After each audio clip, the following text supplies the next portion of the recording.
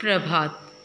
पिछली कक्षा में हमने भाग्य के भरोसे पाठ दो की चर्चा की थी। आज हम इसी पाठ के प्रश्नोत्तरों की चर्चा करेंगे।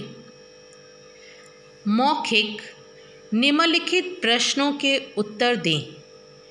तीनों मछलियों के नाम क्या थे? तीनों मछलियों के नाम हीरा, पारो, सुनिधि थे। दूसरा प्रश्न, मछुआरे प्रसन्न क्यों हुए?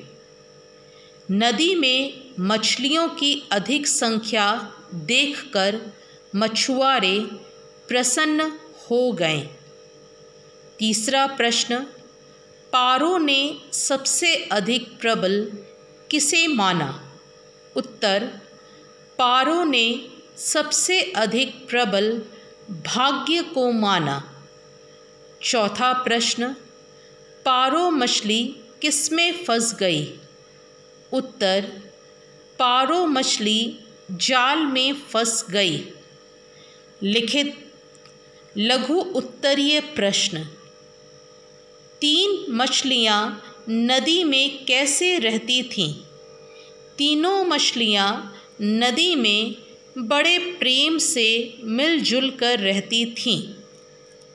दूसरा प्रश्न, मछलियों ने समस्या सुलझाने के लिए क्या किया? उत्तर, मछलियों ने समस्या सुलझाने के लिए एक सभा का आयोजन किया। तीसरा प्रश्न जाल में फंसने के बाद पारो मछली ने क्या सोचा? उत्तर, जाल में फंसने के बाद पारो मछली ने सोचा कि जाल में फंस जाना ही उसके भाग्य में लिखा है। धन्यवाद।